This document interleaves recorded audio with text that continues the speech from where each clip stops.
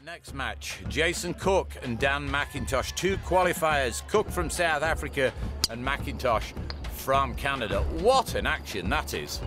Yeah, it is fantastic to watch, and at 380 yards, just about enough to see him through to the next round. Yeah, absolutely fantastic.